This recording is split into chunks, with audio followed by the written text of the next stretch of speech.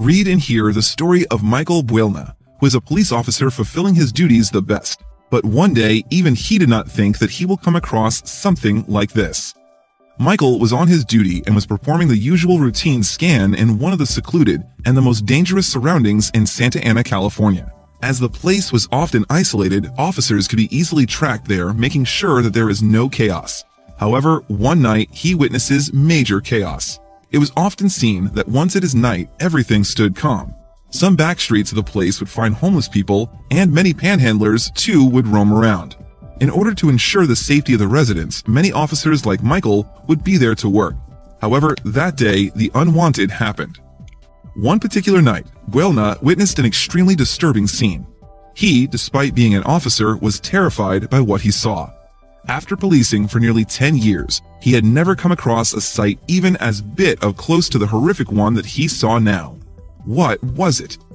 This story dates back to 1989. While Michael was appointed at another station, one night he was to serve his duty at Santa Ana, as recently a case of the stabbing was reported in that area. While he hoped that the situation was under the control of the officers, soon his hopes shattered. Michael was alert of his surroundings. He was keeping an eye on the very few people that would come across the lonely streets at odd hours in the night. Just when he thought that everything seemed to be fine, a group of people suddenly appeared and waved at him nervously. The people suddenly start to point out to a nearby alley. They shouted from a corner, Look, there, something is there! And this made Michael alert. He immediately rushes to the alley and he was stunned. He had no clue that he was stepping towards the unbelievable. The way people pointed towards the alley had alerted Michael.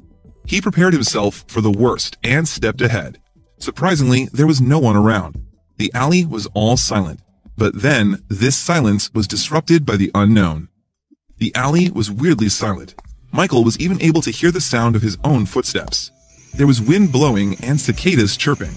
And as Michael stood still and paid attention to any other noise, he gets to hear some faint sounds that startled him. What were they?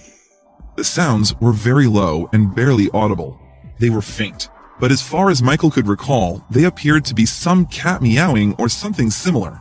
Michael followed the sound and searched to the very corner of the alley, and the sounds were coming from a dumpster. And when he found the source of the sound, he was petrified. As Michael reached the dumpster, the sounds became audible. They were coming from inside of the bin. All the while, the officer thought that these noises were of a cat or some animal but they appeared to be a baby's cry. But that was too vague of a thought to come to him. He disposed his thoughts and quickly peeks inside the bin, and the sight shocked him. Michael immediately threw away the stuff that was in the dumpster, and the sounds grew stronger. And as he reached the bottom of the bin, the source of the sound made the officer's head revolve like anything, and he whispered to himself, This is unbelievable. How can this be here? The sight that made Michael breathless was that of a human baby abandoned in that dumpster. The faint sounds were indeed that of a baby crying. The police officer could not believe that someone could do something this inhuman to a newborn. But there was something more which panicked him. Michael was already not over the sight of finding the baby in a mess like that, that he made another unbelievable discovery. The baby was dumped at the bottom of the dumpster and he was lying on his stomach, almost choking.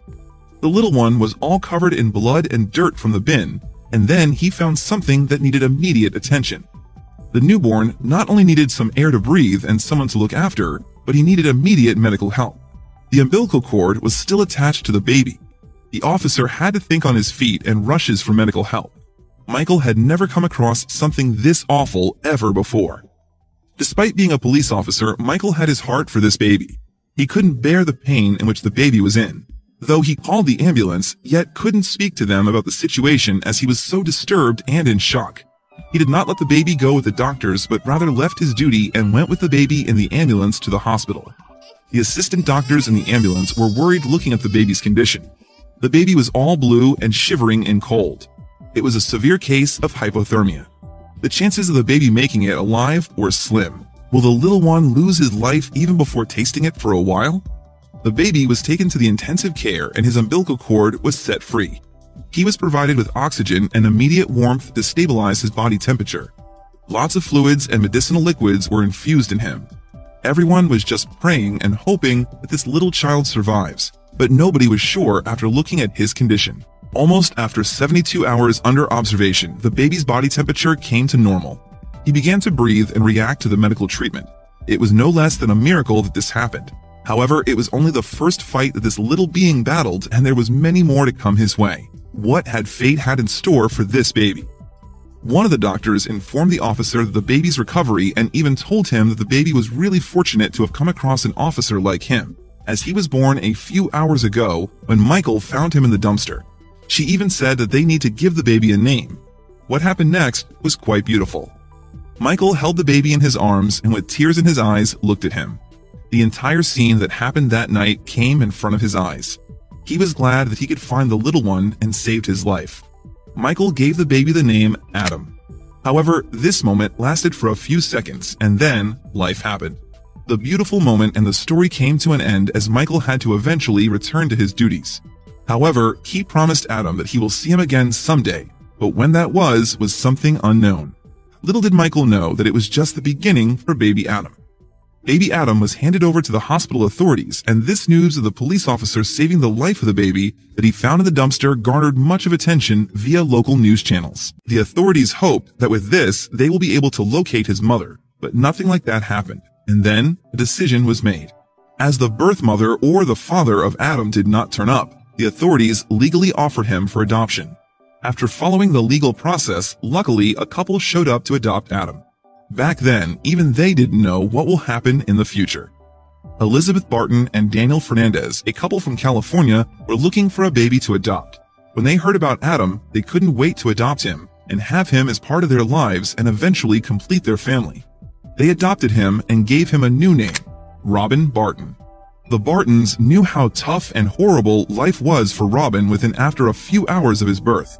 They did not want him to face anything like that ever again and showered their baby with all their love and care. They brought him up the best they could.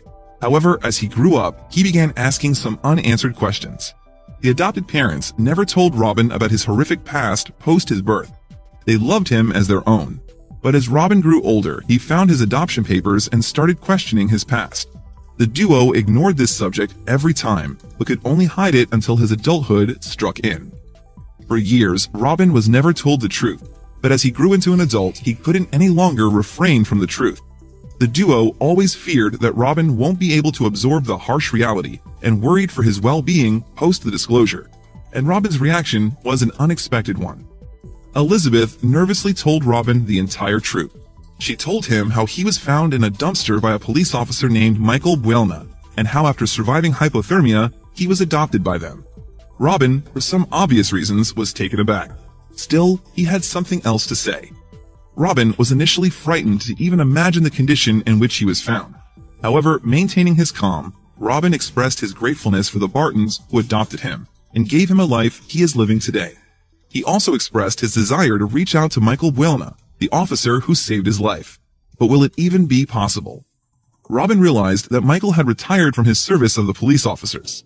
He served at Santa Ana for nearly three decades and before his 50s, he retired. However, the other police officers who were still serving their terms provided Robin with Michael's contact details. Decades later, Michael receives a call from Robin and he couldn't believe that over the call was the same child all grown up and presenting his thankfulness. At last, Michael and Robin met for once more and had nothing to say to each other. They just embraced each other up in their arms. Robin had tears in his eyes. Michael was very happy to see Robin. He even told him that he, Michael himself, was an abandoned child and he knew what it was to grow without your parents by your side. And that night, when he saw Robin, he knew that the baby deserved better. As the reunion of the police officer and Robin too gained much attention, surprisingly after decades, Robin's birth father also got to know about him. Robin's birth father, Marcos Meza, too reaches out to Robin and meets him and there were a lot more coming. While Robin thought that he got to meet his birth father, he will be able to meet his birth mother as well. Unfortunately, it never happened. It was found out that Sabrina Diaz, a prisoner, was deported to Mexico and around the 1990s, she abandoned her baby. After knowing this, Robin never held any grudges for her as probably she did not want him to live a life in the prison.